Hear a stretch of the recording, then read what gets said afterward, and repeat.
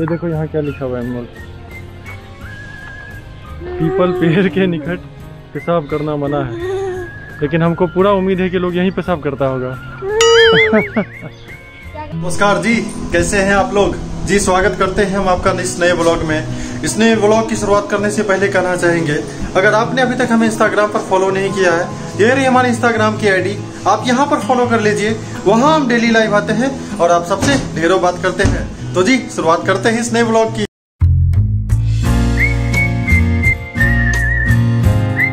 और जी, जिया हो रही है तैयार तो जिया इसलिए तैयार हो रही है कि आज हम लोग जो है, जिया के घर जा रहे हैं और हम अपने ससुराल जा रहे हैं।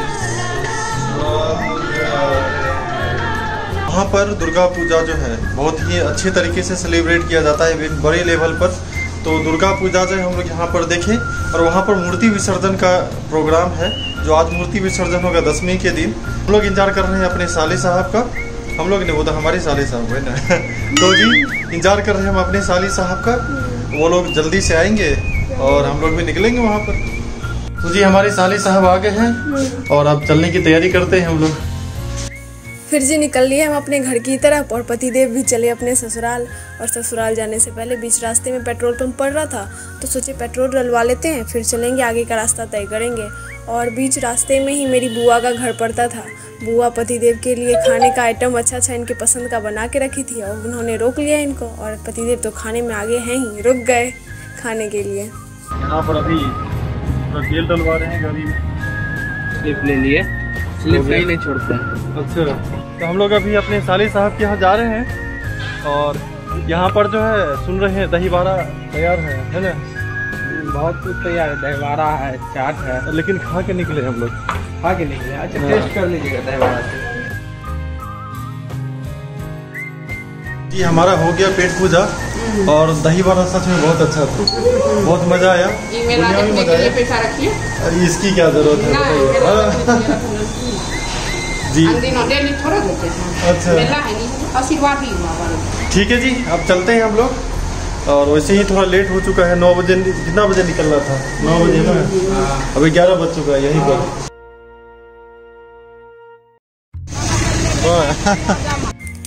फिर जी बुआ सास की यहाँ पेट पूजा करके हम निकल लिए अपने रास्ते की तरफ़।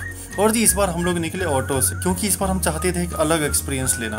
हम टू व्हीलर से भी यात्रा किए हैं फोर व्हीलर से भी किए हैं, लेकिन थ्री व्हीलर से इतने लंबे रूट का यात्रा कभी नहीं किए थे। तो सोचे कि चलिए इस बार कुछ अलग ट्राई किया जाए। बहुत ही मज़ा आया था, क्योंकि चारों तरफ़ से हवा आ रहा था। फोर व्हीलर में क्या होता है कि आप बंद रहता है अंदर में एसी चल रहा है उतना मज़ा नहीं आता है। इससे पूरा खुला हुआ था हर एक नज़ारा का मतलब बिल्कुल उसके बाद उसके बाद टू व्हीलर में क्या होता है कि मतलब धूप लगता है। तो इसमें धूप से भी बच गए और हवा भी आ रहा है। मतलब अलग तरह का एक्सपीरियंस था जी एकदम एक्सट्रीम लेवल का। तो मेरा एक्सपेरिमेंट सक्सेसफुल रहा है ना? हाँ और हमारा ड्राइवर जो भी था वो गजब का था। बहुत हाँ, ही वो भी अच्छा मस्त आदमी था।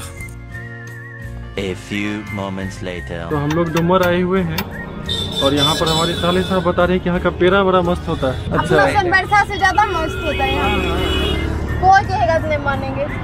सोनबरसा का जैसा होता है। का जो चाय है बहुत ही फ़ेमस है।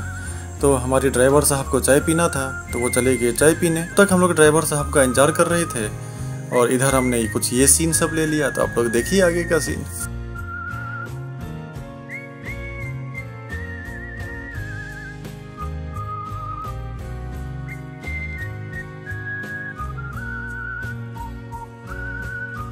ये देखो यहाँ क्या लिखा हुआ है अनमोल पीपल पेड़ के निकट पेशाब करना मना है। लेकिन हमको पूरा उम्मीद है कि लोग यहीं पेशाब करता होगा। यहाँ हम लोग पीपल के पेड़ के नीचे अपना छाव में खड़े हैं। वहाँ पर ड्राइवर साहब को चाय पीना था तो अपना चाय पी रहे हैं। इंतज़ार कर रहे हैं ड्राइवर साहब का कब चाय खत्म हो और हम लोग भी प्रस्थान करें। इंतज़ार करते करते हमारी जिया जो है, उसको भी कंट्रोल नहीं हुआ। चाय की तो है ही शौकीन। ये भी चली गई चाय पीने? चाय तो इतना ज़बरदस्त था एकदम खोआ जैसा लग रहा था। सच में आप तो नहीं पिए। बिल्कुल नहीं हमें पीना ही नहीं था। पीना चाहिए था। अभी जो आप सीन देख रहे हैं यह सीन है कुर्सेला पुल का। जी हमें वहाँ से निकलते निकलते थोड़ी देर हो गई और उसकी कारण थी हमारी जिया महारानी। कुछ भी। जिया महारानी जब भी चाय पीती है चाय को इतना ठंडा कर देती है कि चाय शरबत बन जाता है। इसका मतलब कि गर्म में गटक ले। नहीं तो इतना भी ठंडा कर ले कि उसको शरबत बना दे। नहीं ठंडा ठंडा करके पीते हैं। जी, हम पहुँच चुके हैं केसरी मंदिर के आसपास और यहाँ जो जाम लगा हुआ है, ज़बरदस्त जाम लगा है इधर। आगे का नज़ारा दिखाते हैं आपको। तितरी मंदिर के रास्ते में बैरिकेडिंग लगा हुआ था तो आगे जाने को दिया नहीं जा रहा था। फिर हम लोगों को बगल वाले गाँव से हमें जाना पड़ा वहाँ पर। और जब गाँव से जा रहे थे, बीच में जो कुछ हमने देखा था वहाँ का नज़ारा हमें काफ़ी अच्छा लगा। सोचा आपको भी दिखा देते हैं।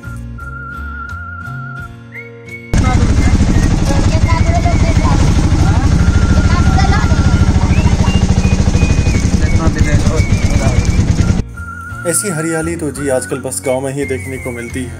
काफ़ी कम ही शहर बचे हैं, जहाँ इस तरह का हरा भरा सब कुछ देखने को मिलता है। शहर में तो जी भीड़, भाड़, शोर, शराबा, यही सब। और गाँव में जब जाते हैं, एक अलग सा ही सुकून मिलता है, एक अलग सी ही शांति का अनुभव होता है।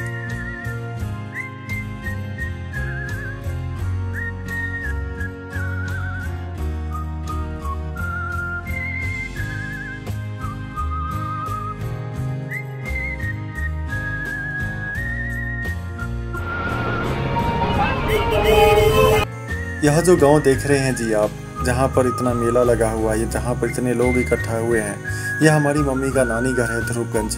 जी हम इसी गाँव में अपने बचपन का कुछ पल बिताए हुए हैं। मेरी मम्मी बताती है कि जब हम पैदा लिए थे तो बहुत ज़्यादा हम, मेरा कलर तो था काफ़ी ज़्यादा डार्क था। और फिर उसके बाद जब यहाँ पर आए गाँव में, शायद गंगा मैया की पानी का कुछ असर था जो मेरा रंग थोड़ा साफ़ हो गया। और सभी बताते हैं कि जब ध्रुवगंज से हम अपने घर आए थे तो कोई हमको पहचान नहीं पा रहा था कि ये वही है। A few moments later. ये आ गया जिया का घर। पहुँचते ही एकदम चेहरे पर मुस्कान। मेरा भी ननियाल है मेरे भी चेहरे पे मुस्कान। अच्छा आपका ससुराल है आपके चेहरे पे मुस्कान अच्छा नहीं नहीं। मेरे भी चेहरे पर है। ये देखो पानी कितना अच्छा है। बिल्कुल। जैसा कि जी हमारे साथ कई बार कांड होता रहता है। इस बार भी हमारे साथ कुछ कांड हो गया। जैसे ही ऑटो पहुँचा घर तो हम अपना बैग निकालने के लिए ऑटो में जा रहे थे। तो हमारे ड्राइवर साहब देखे नहीं कि हम अंदर जा रहे हैं कुछ सामान निकाल रहे हैं। ड्राइवर साहब ने गाड़ी आगे बढ़ा दिया। तो जैसे ही गाड़ी आगे बढ़ाया ऑटो का जो चक्का है मेरे ऊपर चढ़ गया। लेकिन ऑटो का वज़न थोड़ा हल्का था इसलिए भगवान की कृपा से कुछ हुआ नहीं। होगा भी कभी नहीं इतना पूजा पाठ करते हैं कभी किसी का बुरा नहीं किया तो हमारे साथ क्यों बुरा होगा? हाँ जी।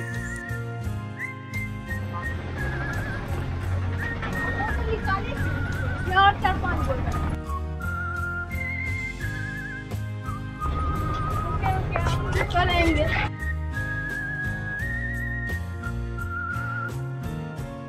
और चार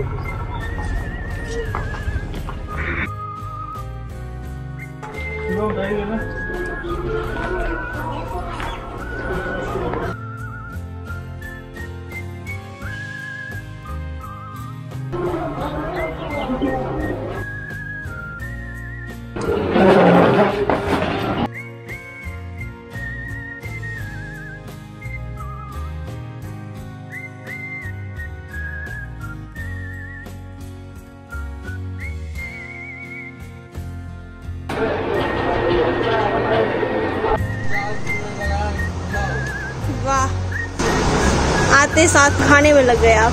आने में लगे कि आते ही इतना शानदार स्वागत हुआ है। बिना मेरा पहला शामिल लिए। वाह। ले गए पानी तो जी यह था हमारा ससुराल और यह थी जिया की फैमिली आप में से कई लोग रिक्वेस्ट कर रहे थे जिया की फैमिली को दिखाने की। तो हमने एक ब्लॉग बना लिया और जिया की फैमिली को उसमें हम लेते आए। अगला जो पार्ट लाएँगे हम उसमें आपको दिखेगी हमारी ढेर सारी मस्ती ढेर सारा धमाल। दुर्गा माँ का जो विसर्जन हुआ था। उसको लेकर जो सेलिब्रेशन इसके गाँव में होता है दुर्गा पूजा को लेकर के। बहुत बड़े लेवल बहुत बड़े लेवल का। और आपको अगले पार्ट में दिखाएँगे। तो हमारे चैनल से बने रहिएगा। और अगर आपने हमारे चैनल को अभी तक सब्सक्राइब नहीं किया है सब्सक्राइब कर दें। साथ ही नोटिफिकेशन बेल आइकन दबाना बिल्कुल नहीं भूले। ताकि हमारा कोई भी वीडियो आए तो सबसे पहले आपको मिले। और हाँ जी यह तो भूल ही गए। इस वीडियो को लाइक करना बिल्कुल नहीं भूले। इस वीडियो को ज़रूर एक लाइक कर दीजिए। और शेयर करना तो बिल्कुल भी नहीं भूले। कुछ नहीं भूलना तो भूलना क्या है? फिर चलिए चलते हैं। बाय